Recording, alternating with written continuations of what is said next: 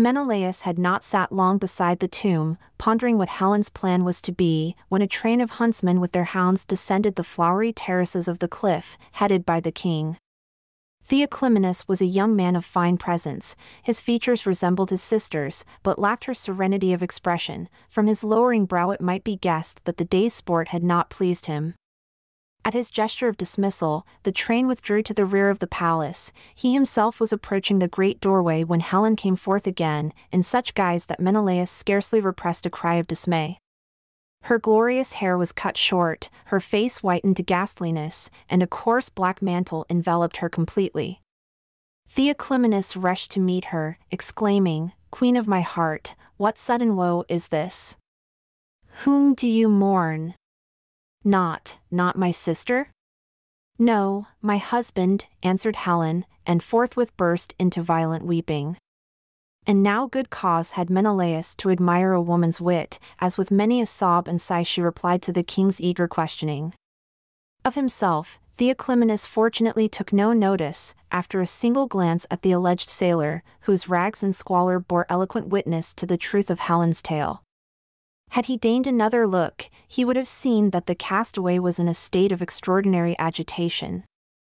Menelaus, indeed, could hardly contain himself when the Egyptian, taking Helen's hand, addressed her in these words. Believe me, O, world's desire, I mourn the death of so gallant a prince as report calls Menelaus, yet I scorn to conceal that this news is far from unwelcome to me, for to all my pleading, you have ever answered that while he lived, you were his alone. And trust me, no less than your peerless beauty has this constancy won my heart. But now, put away unavailing sorrow, for in me you will have a husband as royal and, I promise you, as loving, as he whom you have lost. Nay, withdraw not this lovely hand, let it rest in mine for token of our troth plight. Great Lord of Egypt, said Helen, casting down her eyes, if the hand of a faded, desolate woman seem to you worth the taking, it is yours. At this reply, both her hearers started violently. But Helen, as she drew back from the king's outstretched arms, darted at Menelaus a look so expressive that he controlled his rage. Nay, wait, she said, sweetly, I have a boon to ask, my lord. Name it, fairest of women, replied her enraptured suitor, and take it, to the half of my kingdom. Before we wed, she continued, I desire to pay funeral honors to Menelaus, according to the custom of our land. You shall do so, said the king, and I, for my part, will build him the grandest monument that has ever been seen in Egypt. But what manner of funeral rites do the Greeks pay to those who are lost at sea? I will tell you, said Helen. We have a ship fitted out as for a voyage and loaded with offerings to the departed, jewels, rich robes, golden vessels, and, for a warrior, great store of fine weapons and armor. On this the chief mourners embark and, having gone far out to sea, that nothing may be washed ashore, they cast their gifts overboard together with meat offerings and drink offerings in abundance, praying the dead to accept them with favor. This I must do for Menelaus, lest if he lie unhonored in his vast and wandering grave, his spirit haunt us and bring a curse upon our house. I will have a ship made ready instantly, said the king, furnished with all you need, and the offering shall be the most precious things in my treasury. Only I do not like you to go, I cannot spare you now, my own. Cannot another, cannot this sailor here do the office of chief mourner? What, a man of low degree, exclaimed Helen in a shocked tone. True, that would be unseemly, said Theoclymenus. I will go myself, then. The king of Egypt will pay the last honors to a brother king. Royally spoken, said Helen. But that must not be.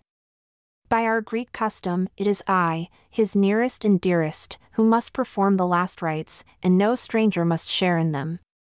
Be it as you will, answered Theoclymenus, somewhat sulkily.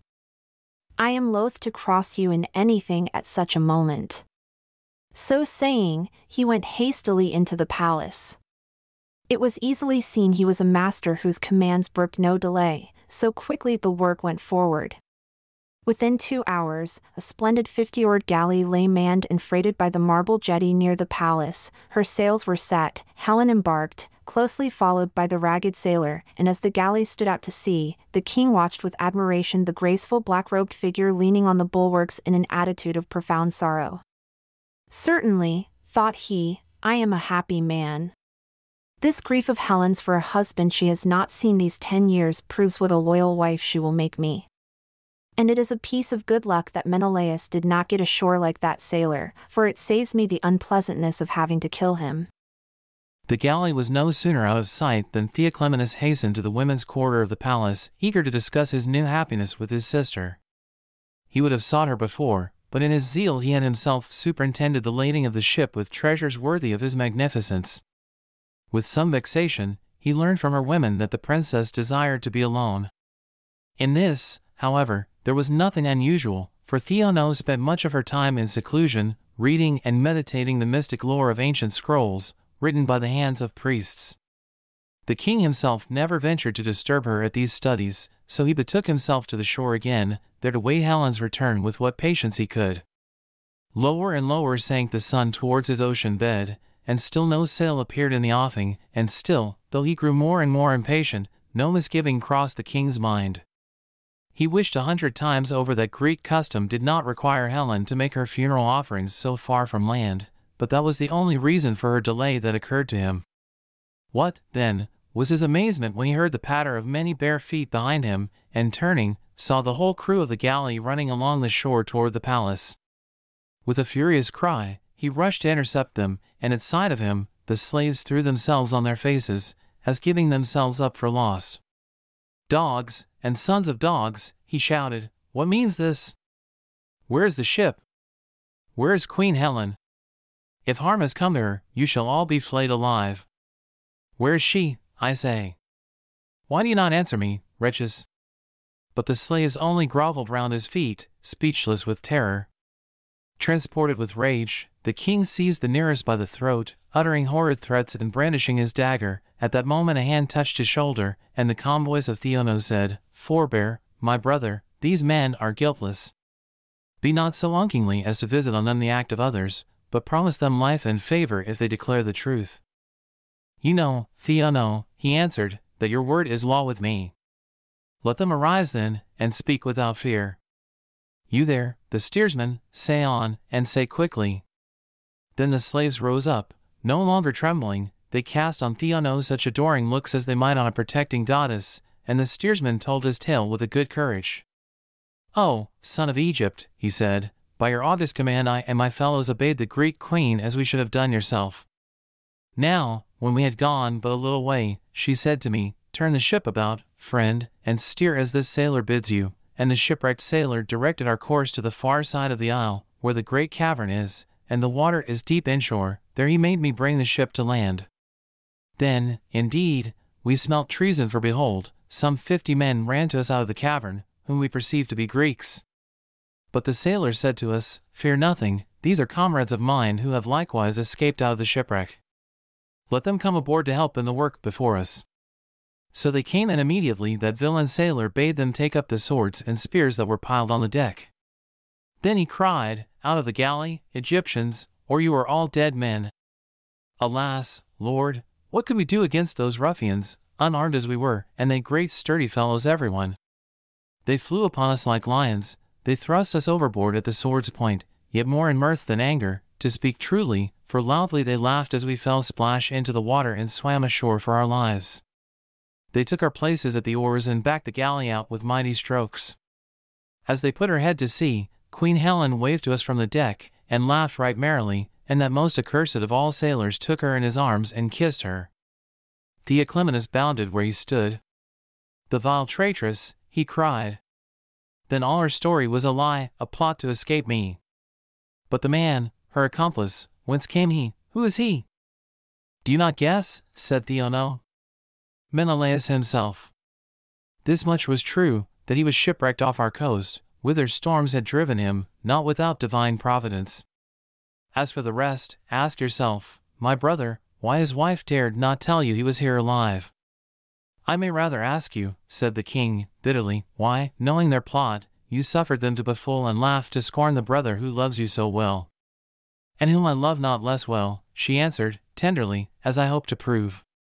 Come, Theoclymenus, let us go when the sun has set, and your evening banquet is waiting. Come, this once I will break my rule of abstinence and share your meal, and afterward I shall have much to say to you. The wise princess had her will, and the king's mood softened in spite of himself as she plied him with the delicate fare and the noble wine set before them.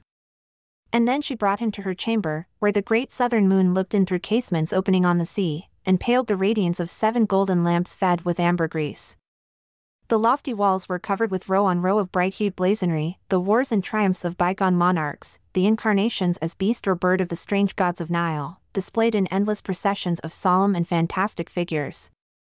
Theonoe motioned her brother to a couch heaped with broidered pillows, seated herself near him on an ivory chair, and began to speak in low, lulling tones, slowly waving the while a fan of ibis plumes. Even thus in his childhood he had loved to hear her tell the wonder tales of ancient Egypt and the scarcely less marvelous doings of kings and heroes beyond the sea. Like one that had seen it all, she now related the story of Troy's downfall from the beginning, how Paris, king-born but reared as a shepherd, was chosen to judge the three goddesses and gave the prize of beauty, the golden apple of discord, to Aphrodite, how she promised him Helen, the world's desire, whom all believed to have fled with him to Troy, the ten years' siege, and how it ended. The king listened enthralled and, when she ceased, he said with a deep sigh, All this woe, then, was wrought by Aphrodite, the flower of the Greeks, the race and city of Troy, have perished by reason of the bribe she offered Paris. And of that she cheated him by a counterfeit. Can there indeed be such perfidy in celestial minds? To that goddess, replied his sister, I render no worship, as you know, yet let us beware of rash words concerning one whose power is so great in earth and heaven. It may be, she would have given Paris the real Helen if she could, but Zeus, Lord of all, who overrules in his wisdom the purposes of the other immortals, would not have it so. For you must know that Helen, though born of a mortal mother, is not as other women. She is as it were a sacred vessel, formed and set apart by divine hands to be a pattern on earth of the beauty that is heavenly. Therefore Zeus would not suffer her to come to dishonor, but in the hour of temptation she was rapt away to an abode of safety and peace, for such was this house to her while her father ruled it. Theoclymenus reddened at the last words and hastily said, I should not have deserved that reproach, my sister, had you told me these things earlier. How could I know that Helen was in a manner sacred and under the special protection of Zeus? It should have been enough, said Theonoe, softly, that you knew her to be a guest, a stranger, and defenseless. For all such are the special charge of Zeus. But I meant not to upbraid you, nay, dearest brother, I would rather crave your forgiveness for having thwarted even in duties caused the desire of your heart. My prayer is, our love for each other may yet bring you truer happiness than you could have known with Helen. Theonoe, exclaimed her brother, melted almost to tears, I were a heartless, thankless fool if I did not prize such love as yours above all else on earth. But I do, and you shall see it, though I have yielded too long to blind passion, by the soul of Proteus, you shall find me a changed man from this hour. Happier with you than with Helen. I, truly, for now it is as though scales had fallen from my eyes, and I see that in your face which hers lacks for all its beauty. It is truth, Theonoe, the stainless truth of your soul shining forth, a light wherein a man may trust. I need but look at you to know you would die a thousand deaths rather than weave the tissue of lies Helen did today. Theonoe pressed his hand and said, with her rare and lovely smile, But those falsehoods, remember, were told to save the man she loved.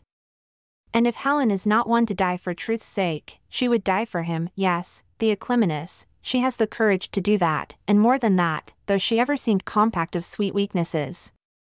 Think, was it not more bitter than death to her to renounce the last hope of home, to tell Menelaus she had only pretended to be herself, and so let him leave her forever, without a word or look to still the heart, hunger of ten widowed years? And she did it, her nature rose to that height in the hour of need. Ah, my brother, that is what we must remember when we think of Helen. Others will know her only as the loveliest of created women, the world's desire, her beauty and her falseness will be sung and told from age to age in other lands. But we of Egypt will preserve the memory of the real Helen, to us, she shall stand forever as the type of woman's faithfulness, woman's divine self sacrifice.